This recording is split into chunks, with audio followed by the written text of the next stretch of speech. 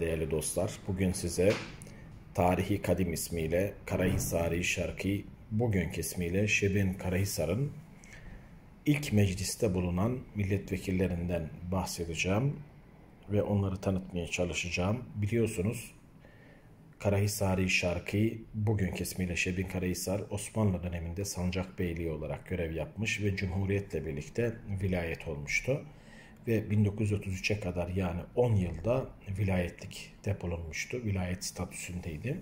İşte ilk mecliste 1920 ile 1923 arası Şebin Karahisar'ın milletvekilleri vardı. Şimdi Türkiye Büyük Millet Meclisi tarafından hazırlanan bu kapsamlı albümde Şebin Karahisar'ın milletvekillerini sizlere tanıtmaya çalışacağım. Bu eser yeni çıktı. Kapsamlı bir albüm.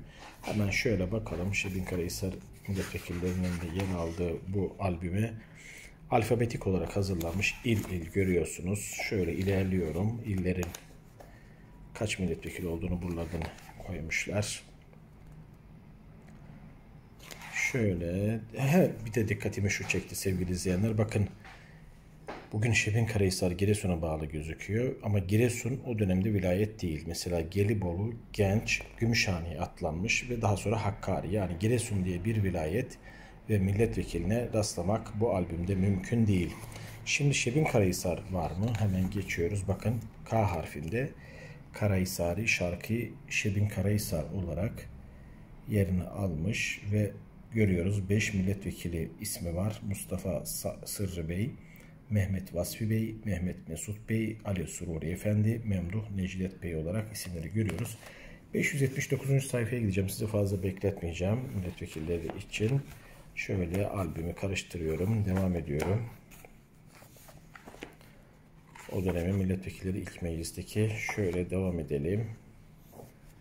Evet, evet. Şebin Karahisar'a geleceğiz. Evet. Karahisari Şarkı. Şebin Karahisar bölümüne geldik. Şöyle sayfayı çeviriyorum. Kalemimizi buradan alayım. Şöyle koyayım. Ve Şefin Karahisar'ın evet bir fotoğrafı, tarihi eski bir fotoğrafı da bizi karşıladı. Burası hatırlayacaktır Şefin Karahisar'ı bilenler. Kale tarafından Öksürük Kaya olarak tabir edilen o büyük kayanın dibinde bulunan mahalle gözüküyor. Yani fotoğraf muhtemelen tarihi kalesinin dibinden karşı mahalleyi doğru çekilmiş ve o zamanki evlerin tek katlı ve seyrek bir şekilde konumlandırıldığında fotoğraftan anlamak mümkün. Bunu görmüş olalım. Şimdi Şebin Karahisar'ın daha doğrusu Karahisari Şarkı'nın ilk meclisteki milletvekillerini bir bir tanımaya çalışalım. İlki Mustafa Sırrı Bey. Şöyle yakından da görelim Mustafa Sırrı Efendi'yi. Evet. Dedik ya o zaman Karahisari Şarkı vilayetinin çeşitli ilçeleri vardı. Bunlardan biri de bugün Ordu'ya bağlı olan Mesudiye ilçesi. Evet bakın Mustafa Sırrı Bey de Şebin Karahisar mebusu olarak kendi ilçesi olan Mesudiye'ye bağlı e, kazada doğmuş. Ve bakın Mesudiyeli 1861 yılında da o dönemde Mesudiye'nin isminin Hamidiye olduğunu da görüyoruz. Bugün orduya bağlı. Serdarzade Ahmet Hulusi Bey'in oğluymuş. İlk orta eğitimini Mesudiye'de tamamlamış. Ardından bir sürede medrese tahsili gördü.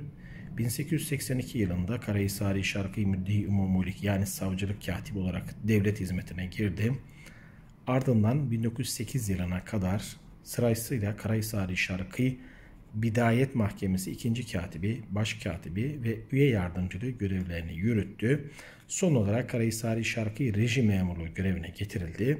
Bu görevdeyken ikinci meşrutiyetin yeniden ilanı yani 1908'de sonra açılan Osmanlı Meclisi mebusanında 3. dönem 1908-1912 arası Karahisari Şarkı mebusu seçildi.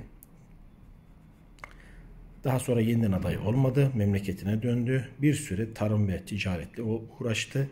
Birinci Dünya Savaşı'nın yani 1914-18 sonrası Mondros Ateşkes Anlaşması'nın imzalanmasından sonra milli mücadeleye destek verdi. Şebin Karahisar Müdafaa Hukuk Cemiyeti'ne aktif olarak faaliyet gösterdi. Erzurum Kongresi'nde Şebin Karahisar'ı temsil etti. Daha sonra Ankara'da açılması kararlaştırılan Millet Meclisi'ne yapılan seçimlerde Karahisari Şarkı Milletvekili seçildi. 10 Mayıs 20 tarihinde 1920 tarihinde Ankara'ya geldi ve meclis açılışına katıldı. Şöyle bakıyoruz. Yine devam ediyor. Çeşitli detaylar var.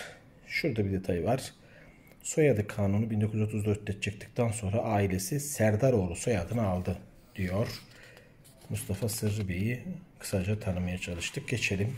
Diğer bir isim Mehmet Vasfi Bey. Bunu da şöyle yakından görelim. Şebin Karahisar'ın diğer milletvekili. Bu 1863 Şebin Karahisar doğumlu.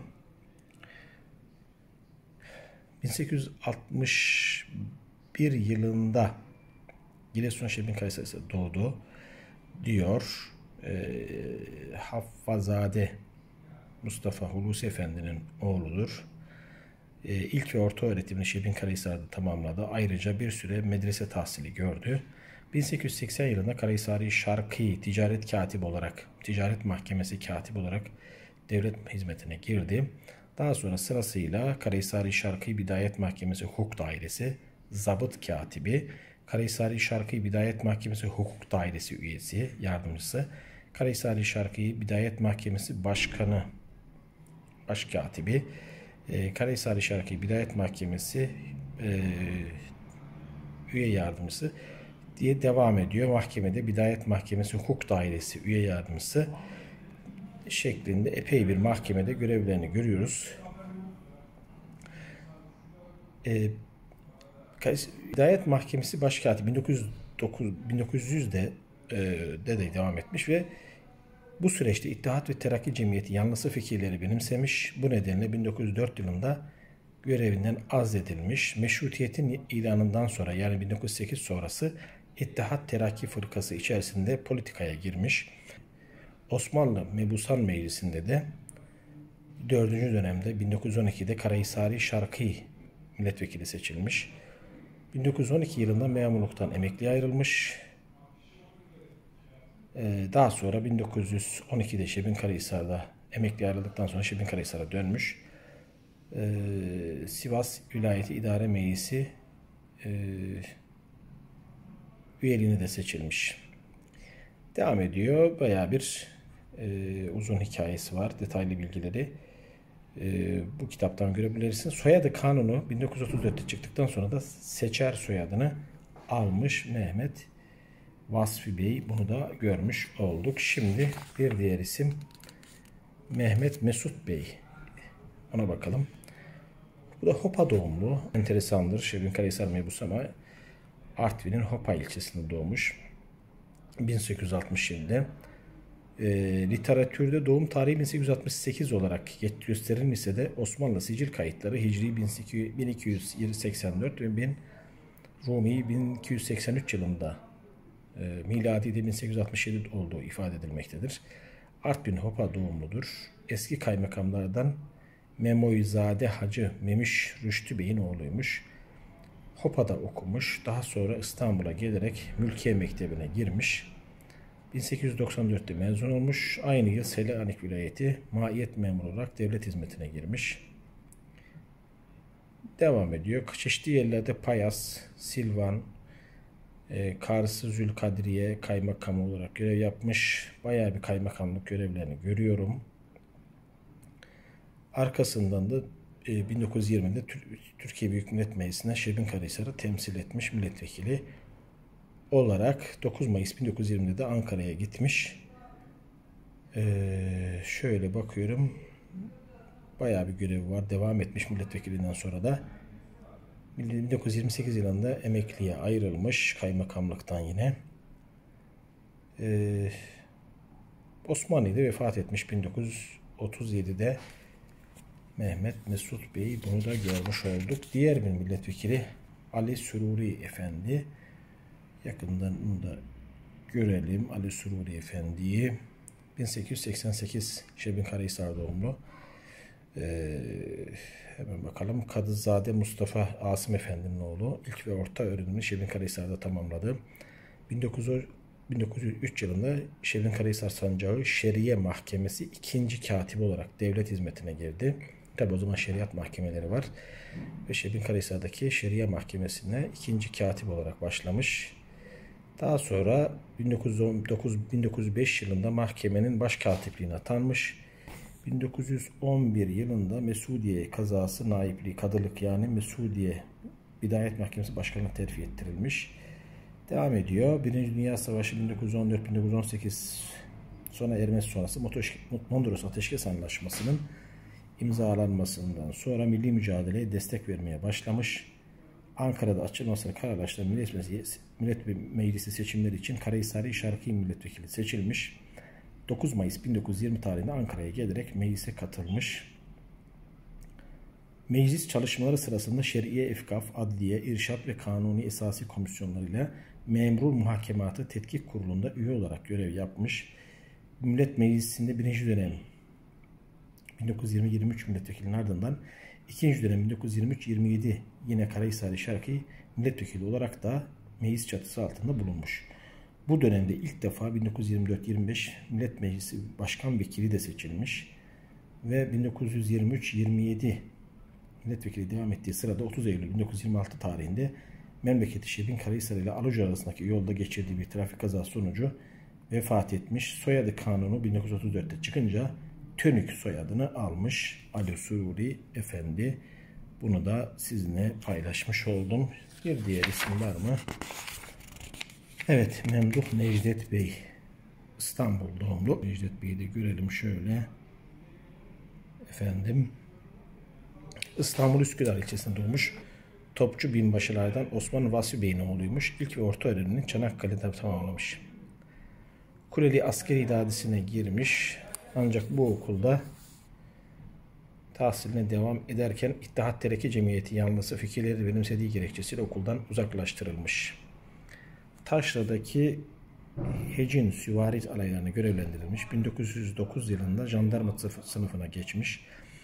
Askerlik kariyeri boyunca sırasıyla mülazım sani teğmen, mülazım evvel üsteğmen ve yüzbaşı rütbeleri aldı. Bu süreçte Şam, Halep, Urfa, Çatalca, İstanbul, Çankırı, Çanakkale, Galicia, Karadeniz Ereğlisi, Düzce, Samsun, Merzifon'da muhtelif kademelerde jandarma subayı olarak görev yaptı.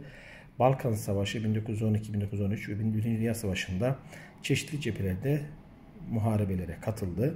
Son olarak 1918 yılında Merzifon Jandarma Bölük Komutanı'na atandı diyor. Milli mücadeleye destek vermeye başladı. Sivas Kongresi sırasında Mustafa Kemal Paşa'nın mahiyetine görev yaptı. Aynı yıl e, Masudiye Jandarma Bölük Komutanı'na nakledildi. Ankara'da açılması plakarlaştıran meclis için yapılan seçimde Karahisari Şarkı milletvekili seçildi. 4 Mayıs 1920 tarihinde Ankara'ya gelerek milletvekili e, göreve başladı diyor. E, daha detaylı bilgilerde görüyoruz. Gördüğünüz gibi çeşitli cephelerdeki mücadelesi var. E, milletvekili görevi sona erince tekrar aday olmadı. Askerlik mesleğine jandarma sınıfına devam etti. 1924 yılında Avanos ve Kırşehir Jandarma Bölük Komutanlıklarına bulundu. Daha sonra mülkiye idarecine geçerek sırasıyla Burhaniye, Balya, Devrek, Kulp, Serik de görevler yapmış. Devam ediyor anlaşılan veya uzun bir hikayesi var. Ee, ve şöyle bakalım. Diyarbakır İzmir'de bulunmuş. Hayatının bundan sonra kısmı İstanbul'da geçirdi. 13 Temmuz 57'den İstanbul'da vefat etmiş.